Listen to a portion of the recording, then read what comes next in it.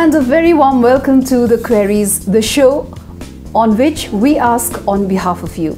र लास्ट सोमा हामीले एडिक्सन अनि एल्कोहलिजमबारे कुराकानी गरेका थियौँ अनि हाम्रो स्पेसल गेस्टबाट हामीले धेरै जानकारी पायौँ एल्कोहलिजम अनि एडिक्सनबारे the most important being addiction or alcoholism is an incurable disease and the best part is it can be successfully arrested if we identify and address the three major problems namely compulsion, obsession and self-centeredness.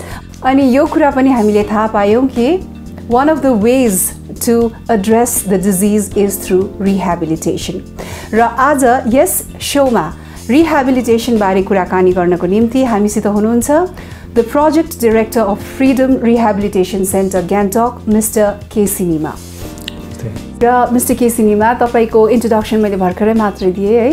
Freedom rehabilitation सेन्टरको project director हुनुहुन्छ तपाईँ। र अरू प्रश्न सोध्न अघि सबभन्दा पहिला त म फ्रिडम रिहेबिलिटेसन सेन्टरकै बारेमा सोध्न चाहन्छु। यो सेन्टर चाहिँ कहिले इस्टाब्लिस भएको हो त? फर्स्ट अफ अल तपाईँलाई है क्वेरिसलाई thank you very much for having me in your show र थ्रु यर सो हामी म यो सम्झिन्छु कि धेरैले हेर्नु दर्शकवृन्दहरूले हाम्रो कुरा हामीले जे राख्नु चाहन्छ है त्यो कुरा बुझिदिनुहुन्छ भनेर र धेरै जो मादक पदार्थ या नसामा को कुलतमा परिरहनु भएको छ उहाँहरूले योबाट कसरी छुटकारा पाउनु पर्ने रहेछ भनेर यो जानकारी पाउनु हुन्छ भनेर र thank you very much queries कि मलाई पनि निम्त्याउनु भयो तपाईँको यो सोमा। हजुर र हाम्रो फ्रिडम कहिले स्टार्ट भएको भन्दाखेरि हजुर दुई हजार पन्ध्र मार्च एक्काइस तारिक हामी स्टार्ट गरेको हौँ र लगभग हजुर पाँच वर्ष भयो। यो यो प्रो यो यो यो होम स्टार्ट भएको छ। ओके र पाँच वर्षमा धेरै एक्सपिरियन्स बटुलिसक्नु भएको छ है? र अब मेन क्वेसन सोध्न चाहन्छु रिहेबिलिटेसन चाहिँ के हो? हजुर रिहेबिलिटेसन के हो है? हजुर तपाईँको पहिलाको एपिसोडमा मैले दिएँ थिएँ र हाम्रो तपाईँको जो गेस्ट स्पिकर हुनुहुन्थ्यो मेरो साथी नै भन्छु हाम्रो मिस्टर टासी उहाँले सबै मजाले कुरा बताइदिनु भयो ड्रगमा पर्ने एल्कोहलमा पर्नेहरूले के के चाहिँ गर्दैन? के के चाहिँ गर्छ? कतिको हानि पुऱ्याउँछ आफ्नो शरीरलाई कतिको दुःख दिन्छ फ्यामिलीलाई है कतिको चाहिँ घाँटी पुऱ्याउँछ आफ्नो जिन्दगीलाई भनेर। र योबाट निस्किनुको लागि किनभने मेरो साथीले त्यो पनि भन्नुभयो कि यो एउटा बिमार हो है डब्लुएचओले नै मानेको मेन्टल हेल्थ एक्टले पनि मानेको भनेर। र बिमार हो भने हजुर उपचार त हुनु पऱ्यो है र उपचार हुने जग्गा चाहिँ कहाँ हो भनेर चाहिँ हजुर हामी हामी मान्छौँ कि यो चाहिँ रिहाबमा हो भनेर। हजुर रिहेबिलिटेसनमा के के हुन्छ? जुन चाहिँ कुरा बाहिर हुँदैन है ऊ आफ्नो घर तोडफोड गरिरहन्छ है त्यही कुरा तोडफोड भएको चाहिँ रिहाबमा बनाउने काम हो। हजुर टाइम टेबल भन्ने हुन्छ है मेडिटेसन भन्ने हुन्छ। कहिले नगरेको कुराहरू रिहाबमा गर्नुपर्छ। टाइममा छिटो उठ्नु टाइममा सुत्नु लाइनमा उठ्नु भाँडा धुनु भुइँ बराल्नु है ऐनाहरू पुस्नु आफ्नो लुगा धुनु है यताउता सफा गर्नु नाली सफा गर्नु हजुर यिनीहरू सबै त्यहाँदेखि कहिले न नगरेको कहिले आफूलाई आफूलाई नहेरेको आफ्नो जिन्दगीलाई पछाडि फर्केर नहेरेको त्यो कुराहरू हेर्नु लगाउँछ। है जोर जबस्तीले होइन तर आफैले हाम्रो रिहाबमा पनि स्टेजेस हुन्छ। त्यो स्टेज काटिँदै काटिँदै काटिँदै गएपछि आफूले हेर्नु थाल्छ। अन्त हेर्नु थाल्दाखेरि चाहिँ आफूलाई चिन्नु थाल्छ। अन्त जब चिन्नु थाल्छ चिन्नु थालिएपछि चाहिँ मलाई पनि लाग्छ कि त्यो रिहेबिलिटेसनको अर्थ बुझ्दै जान्छ भनेर। ओके हामीलाई थाहा छ एल्कोहलिजम अथवा एडिक्सन एउटा डिजिज हो भनेर। तपाईँले पनि अघि भर्खरै भन्नुभयो र यो डिजिजलाई उपचार अथवा ट्रिटमेन्ट गर्नको निम्ति चाहिँ एकजना व्यक्ति रिहेबिलिटेसनमा जानु आवश्यक छ भनेर भन्नुभयो र उपचार चाहिँ के कस्तो प्रकारको हुन्छ त रिहेबिलिटेसन सेन्टरमा हजुर पहिलो है पहिलो सुरु चाहिँ एडमिसन भनेर हुन्छ तर एडमिसन कति बेला गर्ने है कति बेला गर्ने कस्तो स्थितिमा गर्ने भनेर कुरा अलिकति राख्नु पर्दाखेरि हजुर किन चाहिँ रिहाब जानु जरुरी छ र कस्तोलाई चाहिँ लान्छ? अब जो जो तपाईँ त्यही फ्यामिलीले रिहाब हाल्छु रिहाब पठाउँछु भन्ने खाले त कहिले सोचाइ आएको हुँदैन। तर स्थिति यस्तो पर्छ कि यो मेरो रक्सी खाने या ड्रग खानेलाई चाहिँ अब कहीँ न कहीँ पठाउनु पर्ने रहेछ। त्यो चाहिँ रिहाब रहेछ र रिहाब हाल्दाखेरि डाइरेक्ट एडमिसन कति बेला हुँदैन। किन भन्दाखेरि धेरैजना रक्सीले गर्दा धेरै बिग्रिसकेको हुन्छ भित्र धेरै बिग्रिसकेको हुन्छ र डाइरेक्ट एडमिसन गर्नु हामी अलिकति अप्ठ्यारै पर्छ। र त्यसको लागि मेडिकल सुपरभिजन मेडिकल एसिस्टेन्स चाहिन्छ र हस्पिटलमा किनभने तपाईँहरूले धेरैले बुझ्नु भएकै नै कुरा हो। कि रक्सी नपाउँदा धेरै तर्पिन्छ ड्रग नपर पाउँदाखेरि पनि धेरै तर्पिन्छ भनेर। र त्यो एकै खेपमा छोड्दाखेरि त्यो एउटा विड्रल फेज भन्छ त्यो उन उनीहरू त्योबाट गुज्रिनुपर्छ। र त्यो गुज्रिँदाखेरि चाहिँ हजुर हामीलाई हेल्प चाहिन्छै चाहिन्छ। मेडिकल एसिस्टेन्स हामीलाई चाहिन्छै चाहिन्छ। र त्यो ए स्टेज चाहिँ जुन चाहिँ डिटक्सिफिकेसन भन्छ त्यो स्टेज चाहिँ हजुर हस्पिटलमा या कहीँ गरेको छ भने चाहिँ अलिकति राम्रो हुन्छ। र त्यसको पछि चाहिँ डिटक्सिफिकेसन जब उसको अ, खतम हुन्छ या विड्रल स्टेज जब खतम हुन्छ उसलाई रिहाबमा एडमिट हुन्छ है? र रिहाबमा एडमिट हुनु भएपछि देन ऊ इन्ट्रोड्युस हुन्छ कम्युनिटीमा हजुर कम्युनिटीमा इन्ट्रोड्युस भएपछि then he will get into all those sessions है? हाम्रो टाइम टेबलको एउटा सेसन हुन्छ है? बिहान छिटो उठ्ने टाइममा दाँत धुने टाइममा मुख धुने चिया खाने त्यहाँदेखि प्रेयरमा बस्ने त्यहाँदेखि मेडिटेसन गर्ने योगा गर्ने हजुर यो सबै उसलाई इन्ट्रोड्युस हुन्छ। जुन चाहिँ चाहिँ उसले कहिले पनि गरेको हुँदैन। एउटा एउटा लाइफ हुन्छ रिहाब आउनुभन्दा अगाडि कुन चाहिँ लाइफ भन्दा त्यो पहिलाको एपिसोडमा जुन चाहिँ कुरा गर्नुहुँदै थियो अब्सेसिभ कम्पल्सिभ र सेल्फ सेन्टर भनेर उसले उसकै तरिकाले मात्रै जिन्दगी चल्दै गएको हुन्छ अब रिहाबमा टक्कै हुँदा उसले भनेको एउटा तरिकाले पनि चलिँदैन। सबै त्यहाँ देखाएको हुन्छ त्यो बाटोमा ऊ हिँड्नुपर्छ क्या। अन्त जुन चाहिँ चाहिँ अलिकति सजिलो चाहिँ हुँदैन इनिसियली तर जब उसले एड्रेस गर्न थाल्छ कि मेरोमा यो प्रब्लम रहेछ है मेरो भित्र प्रब्लम रहेछ मेरो सोचाइमा प्रब्लम रहेछ है र मैले नि आफूलाई उपचार गर्नुपर्ने रहेछ भनेर बुझेपछि र रिहाबमा अर्को कुरा के हो भन्दाखेरि हाम्रो सिक्किममा जम्मा एघारवटा बाह्रवटा रिहाब छ है। हजुर। र यो बाह्रवटा रिहाबमै हामी के फलो गर्छ भन्दाखेरि एउटा टुवेल्भ स्टेप्स टुवेल्भ स्टेप्स प्रोग्रामको हामीले ट्रिटमेन्ट हामी दिनु खोज्छौँ है। जहाँनिर चाहिँ हामी एड्रेस यो पनि गर्छौँ whole mind body and soul भनेर हजुर यो कुरा र त्यही कुराले मेडिटेसन भयो योगा भयो त्यहाँदेखि रिडिङ राइटिङ है बेस्ड अन आवर पास्ट लाइफको। क्वेसन्सहरू हुन्छ। त्यसमा भयो त्यहाँदेखि हाम्रो त्यहाँनिर मिटिङ्सहरू पनि हुन्छ। है हाम्रो कम्युनिटी थेरापी भन्ने छ कम्युनिटी सर्भिस भन्ने छ है। हाम्रो वि के भन्छ हाम्रो होलिस्टिक पिपलहरूलाई पनि हामी इन्भाइट गरेर हामी क्लास लिनु लाउँछौँ। क्लास लिनुहुन्छ लाउँछौँ होइन लिनुहुन्छ है। र साथसाथैमा हाम्रो मोटिभेसनल स्पिकर्सहरू जो जो हुनुहुन्छ those have seen life in a better way हजुर उहाँहरू पनि आइदिनुहुन्छ उहाँहरूले पनि रेसिडेन्ट्सहरूलाई मोटिभेट गर्नुहुन्छ कि। कसरी लाइफलाई जिउनु पर्ने हो भनेर। र रिहेबिलिटेसन म त म त एकदमै लाग्छ क्या। If there is no rehab I doubt there will be a way out for people into drugs र एल्कोहल क्या राइट र अघि भनिहालेँ कि बाह्रवटा रिहाब त छ। र यो सबै बाह्रवटा रिहाब तपाईँको इट इज प्राइभेट रिहाब र यो प्राइभेट रिहाबमा तपाईँले सायद अहिले मलाई सोध्नु हुन्छ होला है कि प्राइभेट रिहाबमा फिस लाग्छ। हजुर, फिस लाग्छ।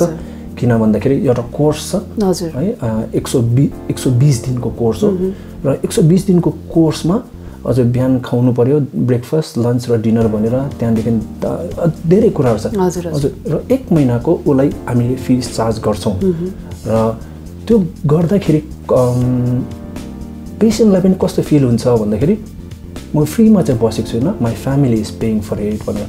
हजुर त्यो कुरा पनि एड्रेस हुन्छ होला। किनभने त्यहाँनिर अघि मैले भनिहालेँ मेडिटेसन के केहरू हुन्छ भने मोस्ट इम्पोर्टेन्ट कुरा चाहिँ के हुन्छ त्यहाँ रिहाबमा भन्दाखेरि काउन्सिलिङ हुन्छ। हजुर। एन्ड काउन्सिलिङ कसले गर्छ? A person who has already been there before. है जसले चाहिँ ड्रगको जिन्दगी पहिला नै चाकिसकेको छ। हजुर। उनीहरूले नि नयाँ जिन्दगी पाइकन उनीहरूले नि काउन्सिलिङ गर्छ। र जसको घरमा पनि एडिक्टेड हुनुहुन्छ कोही है एल्कोहलिक हुनुहुन्छ भने उहाँलाई चाहिँ कुन समयमा चाहिँ रिहेबिलिटेसन सेन्टरमा हाल्नुपर्छ जस्तो लाग्छ तपाईँलाई?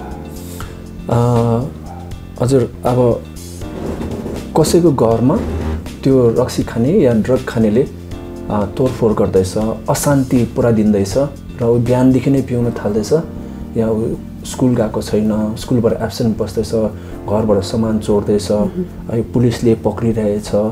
हजुर यस्तो खाले स्थिति आउन थाल्यो उसको जिन्दगीमा भनेपछि। हजुर आई फिल र I am sure many will agree कि उसको टाइम भएछ उसलाई ट्रिटमेन्ट गराउने भनेर।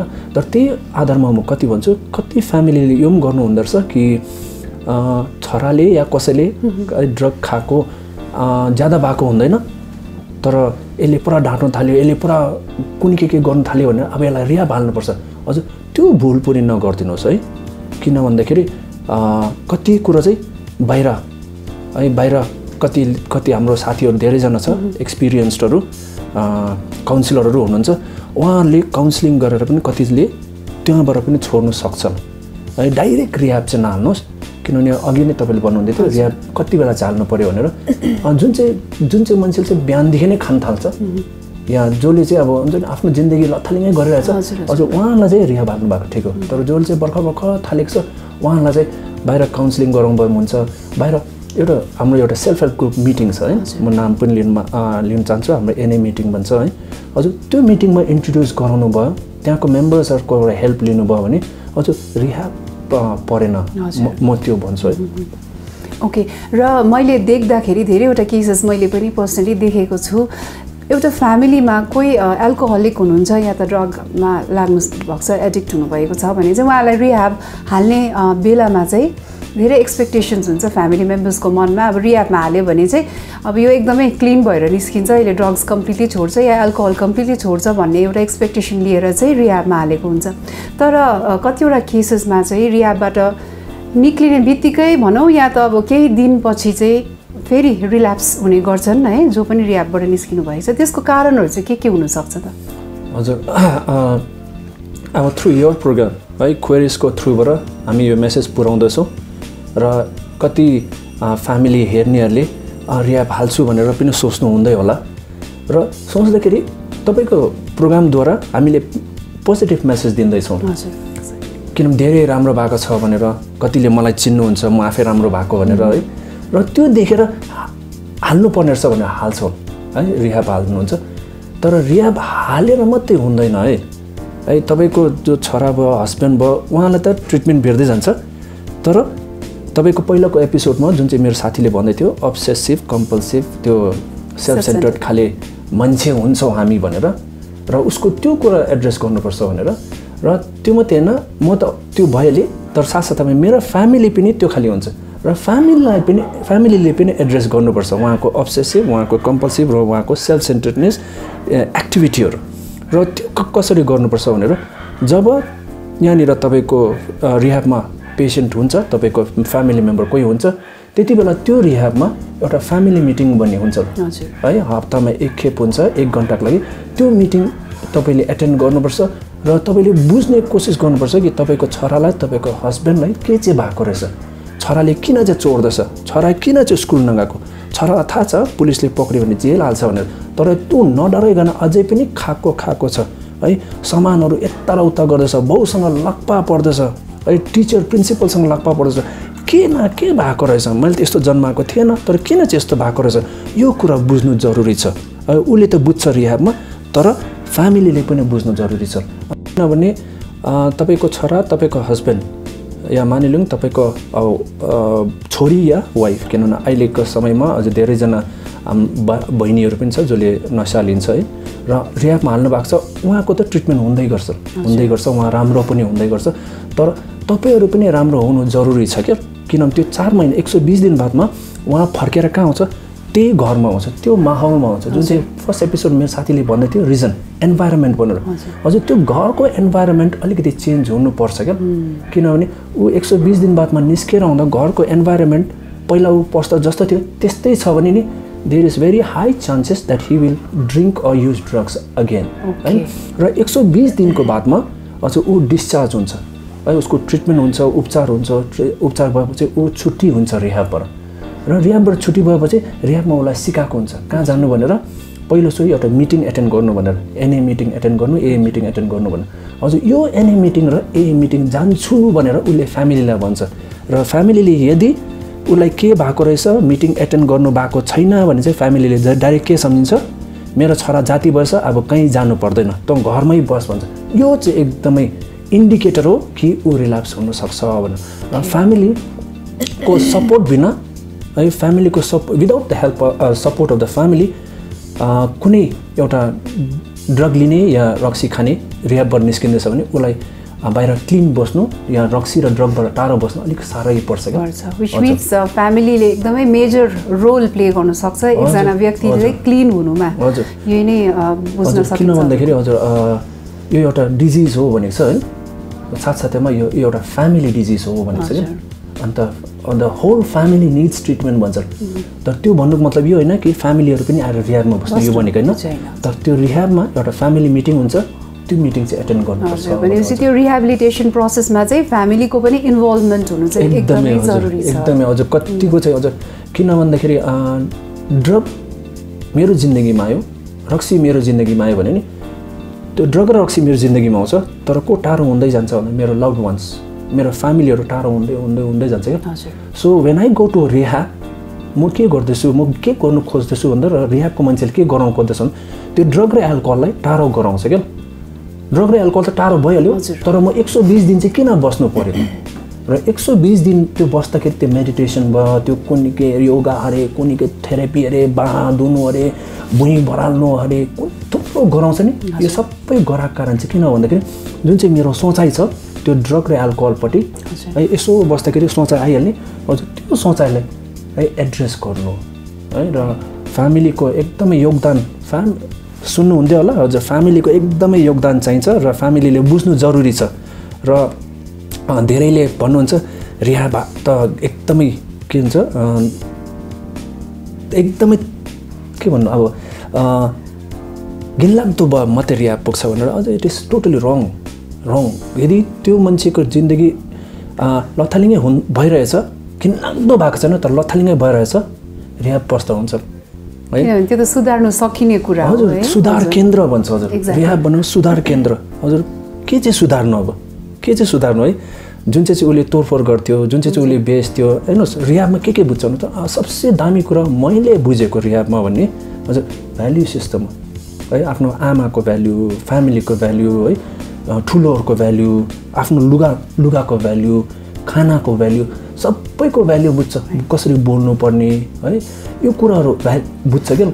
किनभने मेरो एकजना मेरो सिनियर मान्छे हुनुहुन्थ्यो जो काउन्सिलर हुनुहुन्थ्यो उहाँले भन्नुहुन्थ्यो क्या कि उहाँले दामी कलेज जानुभयो अरे दामी स्कुल जानुभयो अरे तर जुन चाहिँ चार महिना उहाँले रिहाब जानुभयो त्यो चार महिनामा जुन चाहिँ कुरा सिक्नुभयो नि त्यो कुराहरू चाहिँ जुन चाहिँ दामी स्कुल दामी कलेजमा पनि सिक्नु पाएको थिएन अरे भनेर क्या र रिहाबमा यो खाले कुराहरू सिकाउँछ क्या। र तपाईँको पहिलो एपिसोडमा साथीले भने जस्तै हामी धेरैजना छौँ जसले नयाँ जिन्दगी पाएको क्या। है र यो नयाँ जिन्दगी पाएको अनुसारले गर्दाखेरि हो धेरैजनाले मौका पनि पाइरहेछ र क्वेरिसलाई थ्याङ्क यू भन्न चाहन्छु कि तपाईँको माध्यमबाट है धेरैलाई हामीले मेसेज पुऱ्याउनु पाइरहेछ क्या। र यहाँ दर्शक पनि जो जसले पनि हेर्नुहुँदैछ है। तपाईँहरूले यो कुरा सुन्नुहुन्छ होला है। जसलाई मनपर्छ है लिइदिनुहोस् है जसलाई मन पर्दैन हजुर गाली नगरिदिनुहोस् नहेरिदिनुहोस् भन्दाखेरि है। र हजुर रिहेबिलिटेसनमा कसरी चाहिँ के के चाहिँ तपाईँहरूले अब ट्रिटमेन्टहरू दिनुहुन्छ है? बेसिकली मलाई के लाग्यो भन्दाखेरि चाहिँ ट्रिटमेन्टभन्दा बेसी चाहिँ अब तपाईँहरूले चाहिँ एकजना व्यक्तिलाई चाहिँ डिसिप्लिन्ड लाइफ चाहिँ कसरी जिउनु त्यो पनि सिकाउनुहुन्छ है? र अर्को कुरा चाहिँ म तपाईँलाई के सोध्न चाहन्छु भन्दा सोसाइटी जत्तिकै एडभान्स्ड किन नहोस् अझै पनि एडिक्सन एल्कोहलिजम भन्दाखेरि एउटा ट्याबु चाहिँ छँदैछ सोसाइटीमा। त्यसै भएर चाहिँ त्यही कारणले गर्दाखेरि चाहिँ फ्यामिलीले फ्यामिली मेम्बर एकजना कोही गएको छ भने रियाबमा गएको छ भन्नु पनि हिचकिचाउने गर्छन् अप्ठ्यारो मान्ने गर्छन् है। र त्यस्तो त्यो अप्ठ्यारो मान्नुपर्ने कुराहरू त्यस्तो केही छ छैन? तपाईँले अलिकति भनिदिनुहुन्छ कि? हजुर यो त म धेरै वर्षदेखि भनि आउँदैछु कि रिहाब गएको भनेर अप्ठ्यारो मान्नु पर्ने कुरा केही छैन। किन केही छैन? किन भन्दाखेरि तपाईँहरूको क्वेरिजमा भन्न चाहन्छु म पनि रिहाब गएकै हो है? र यस्तै तपाईँहरूकै मिडियाकै माध्यमबाट मैले भनेको हो मैले काम बिगारेकै हो म स्कुलबाट आउट भएकै हो मैले चोरेकै हो मैले ढाँटेकै हो मैले मेरो आमालाई दुःख दिएकै हो भनेर। र यो कुरा तपाईँहरूको अगाडि म मजाले खुल्ला प्रकारले राख्न किन सकेको हो भन्दाखेरि मैले यो कुराहरू रियाबमा गएर बुझेको है? र अ, रियाबमा यस्तो यस्तो कुरा हुन्छ जुन चाहिँ कुरामा हजुर लाज मान्नुपर्ने कुरा केही छैन क्या? है रिहाबमा म आफ्नो अक्षर नमिलाउने मान्छे हो। रिहाबमा गएर सिकेँ अक्षर मिलाउँदा हुँदो रहेछ भने। म आफ्नो थाल नधुने मान्छे हो। रिहाबमा गएर बुझेँ कि थाल धुँदा पनि हुँदो रहेछ भने। यो कुराहरू कहाँ सिकेँ मैले? रियाबमा सिकेँ नि। अन्त यो दामी दामी कुरा सिकेँ क्या. है र लजाउनु पर्ने अप्ठ्यारो मान्नु पर्ने कुरा केही छ जस्तो लागेन रियाबमा छ भन्दाखेरि हजुर। हजुर। त्यो चाहिँ अब फ्यामिलीले सुन्नुपर्ने कुरा है। रिहेबिलिटेसनमा जाँदैछ छोरा या त तपाईँको हस्बेन्ड भने चाहिँ तपाईँले अप्ठ्यारो मान्नुपर्ने कुरा चाहिँ केही पनि छैन। यहाँ एकदम इक्जाम्पल देखिरहनु भएको छ। उहाँले आजको दिनमा हामी सबैलाई यति राम्रो इन्फर्मेसन सेयर गरिरहनु भएको छ।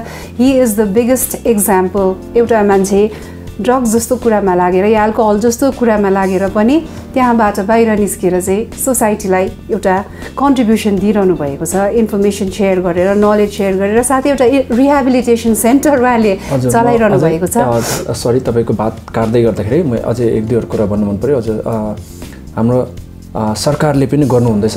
हजुर र सिङताम हस्पिटलको माथिपट्टि एउटा जग्गा छ चुवाटार भन्ने।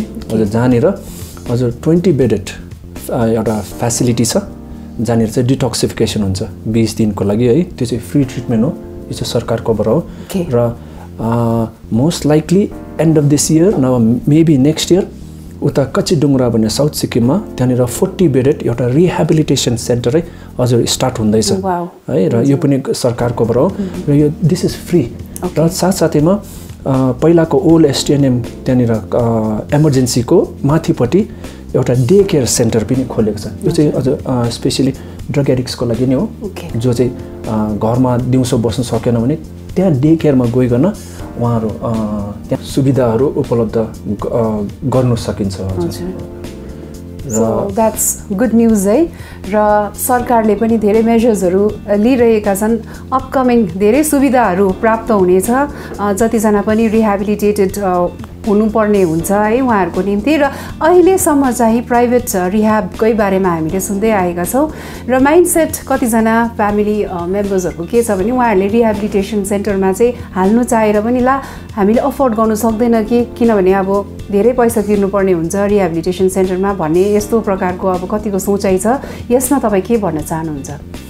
हजुर कतिजना हजुर त्यो फिज एफोर्ड गर्नु नसक्नेहरूको लागि सुविधा छ है। हजुर। हामी बाह्रवटा रिह्याब छौँ र बाह्रवटा रिह्याबमा जुनै रिह्याबमा पनि पेसेन्ट जो इकोनोमिकली अनसाउन्ड छ गइराखेर राम्रो प्रकारले कुरा अगाडि राख्नुभयो कि हामी फिस तिर्नु सक्दैनौँ हामीलाई अलिकति छुट दिनुहोस् भनेपछि हाम्रो यो बाह्रवटा रिह्याबले नै छुट दिन्छ। ओके। है कतिले एक पैसा तिर्नु सकेन भने पनि हजुर एट वान ब्याचमा हजुर एकजना दुईजना चाहिँ फ्री ट्रिटमेन्ट पनि गराउँछौँ। है र यो होइन कि फिस छैन ट्रिटमेन्ट हुँदैन भने कुनै एउटा बाह्रवटा रिहाब कुनै कसले पनि त्यसो गर्दैन। बाह्रवटा रिहाबले नै कोही न कोहीलाई चाहिँ हजुर त्यो फिस एफोर्ड गर्न नसक्नेहरूलाई ट्रिटमेन्ट चाहिँ दिन दिँदै नै गरेको हुन्छ। तर ज्यादालाई सक्दैनौँ एक दुईजनालाई चाहिँ अझै दिन्छ हजुर। ओके त्यो र के सिनेमाज्यू अब आजको निम्ति रिहेबिलिटेसन अनि रिकभरीबारे हामी हामी कहाँ हामी कहाँ जति पनि प्रश्नहरू रहेको थियो सबै प्रश्नहरू मैले तपाईँलाई सोधिसकेँ र हाम्रो भ्युवर्सहरू एकदम तपाईँको आन्सर्सहरू सुनेर सेटिस्फाइड हुनुभयो र इन्फर्मेसन पनि उहाँले धेरै पाउनुभयो भन्ने आशा राख्दै आज यस सोमा आइदिनु भएकोमा तपाईँलाई धेरै धेरै धन्यवाद दिन चाहन्छु र जाँदा जाँदै के मेसेज दिन चाहनुहुन्छ हाम्रो भ्युवर्सलाई मेसेज अगाडि एक दुईवटा अझै कुरा अलिकति थप्नु मन पऱ्यो वाइ रिह्याब रिह्याब किन? एउटा मान्छेले ड्रग लिँदैछ एल्कोहल लिँदैछ रिह्याब किन है? त्यो अघि पनि सोध्नु भएको थियो तर म लास्टमा अलिकति एडप्ट गर्नु मन पऱ्यो किन भन्दाखेरि हेर्नुहोस् म ड्रग लिँदैछु म हाम्रो बजार घुम्दैछु अरे एमजीमा घुम्दैछु र नसाको लतमा परिगएर म बजार घुम्दैछु। मोस्ट लाइकली मलाई कसले पक्रिन सक्छ? पुलिसले पक्रिन सक्छ। किन भन्दाखेरि हाम्रो एउटा ल छ एउटा एक्ट छ है? जुन चाहिँले भन्छ साडा भनेर है? त्यसले र यदि त्यो पुलिसले मलाई पक्रिनु भयो र मेरो जिउमा सामान भेट्यो भने म बिहाइन्ड द बार्स हुन्छु. भन्नु मतलब मलाई त्यो डर हुन्छ र म एमजीमा घुम्नु मलाई साह्रो पर्छ। त्यहाँदेखि म बिमार भयो अरे र म हस्पिटल पुग्छु र हस्पिटल पुग्दाखेरि यदि त्यहाँ थाहा पाएँ मैले ड्रगले गर्दा म बिमार भएको रहेछु भने मेरो त्यहाँनिर राम्रो उपचार हुँदैन मेरो राम्रो मलाई देखभाल हुँदैन। र त्यहाँनिर अर्को जग्गा कुन चाहिँ छ म स्कुल जाँदैछु अरे र स्कुलमा गइराखेर त्यहाँ पनि म नसा है नसा मुक्त नसाइ खाइराखेर म स्कुल जाँदैछु अरे। र त्यहाँनिर मेरो टिचरले क्लास टिचरले मेरो प्रिन्सिपलले मलाई वेलकम गर्ने होइन। है मोस्ट लाइकली म सस्पेन्ड हुन्छु होला। है र हेर्नुहोस् त त्यहाँदेखि म घर फर्केर आउँछु। घर फर्केर आउँदाखेरि मेरो आमा बाबाले मलाई वेलकम गर्ने होइन। ड्रग खाने छोरा यसो भने वेलकम गर्ने होइन। म त पुरा गाली पर्छ होला मलाई मलाई गाली गर्छ होला। मलाई छोड्ने इच्छा छ। किनभने तपाईँहरूलाई भनेको जसले पनि रक्सी खाँदैछ जसले पनि ड्रग खाँदैछ बेलुका हुँदाखेरि उसले छोड्छु भन्ने हुन्छ। तर बिहान हुने बित्तिकै उसले फेरि खाइ पठाइहाल्छ होइन? र उसलाई छोड्छु भन्ने इच्छा हुन्छ तर छोड्ने जग्गै छैन रहेछ। हेर्नुहोस् त ए, मेरो बजारमा पनि जग्गा छैन रहेछ स्कुलमा पनि जग्गा छैन रहेछ हस्पिटलमा पनि जग्गा छैन घरमा पनि जग्गा छैन रहेछ। म कहाँ जानु है? र एउटै जग्गा हो जस्तो लाग्छ मलाई चाहिँ त्यही लाग्छ है किन भन्दा म त्यो रिहाब रिहाब किन बन्ने बस्यो भन्दाखेरि हजुर म चाहिँ रिहाब गरेर राम्रो भएको हो. होइन? र रिहाबबाट निस्केर आएँ। निस्केर आएर मलाई सपोर्ट भएको चाहिँ एनए मिटिङबाट सपोर्ट भएको फेलोसिपकोबाट सपोर्ट भएको फ्यामिलीकोबाट सपोर्ट भएको सब सबसे ठुलो सपोर्ट चाहिँ फ्यामिलीकोबाट भएको। हजुर र लास्टमा मेरो मेसेज त्यही मेरो साथीभाइ मेरो युवा साथीभाइ मेरो दाजुभाइ मेरो दिदीबहिनीहरूलाई त्यही भन्न चाहन्छु जसले चाहिँ हजुर रक्सी लिनुहुँदैछ जसले चाहिँ नसा लिनुहुँदैछ।